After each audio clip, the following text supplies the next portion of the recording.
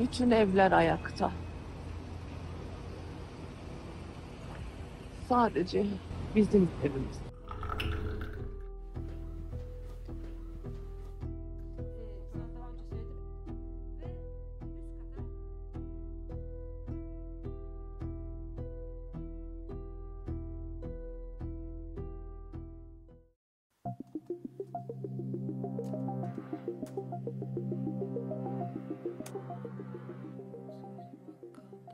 Elbette ki bunları benim yapmam gerekmiyordu ama ben de yapmasaydım demek ki hiçbir şey bulamayacaktık. Böyle kalacaktık.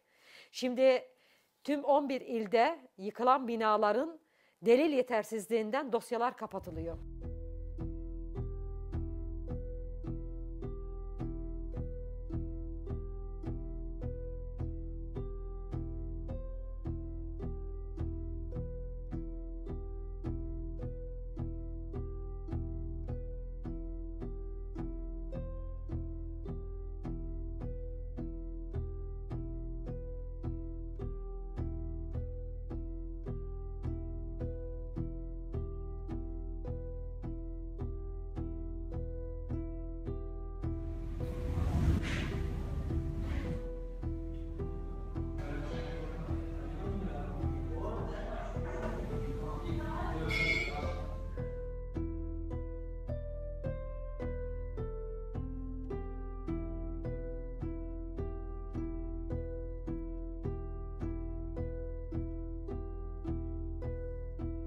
Düşük beton dayanımı, sonradan yapılan müdahaleler gibi unsurlar bir araya geldiği için ne yazık ki bu e, can kayıplarıyla karşılaştığımız bir yıkım söz konusu oldu diye değerlendiriyorum Ezgi Apartmanı'nda.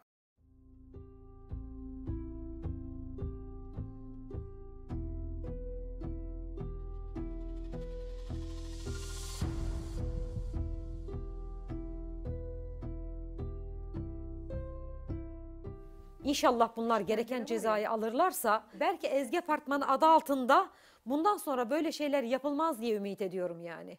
Bir örnek teşkil etsin diye mücadele ediyorum.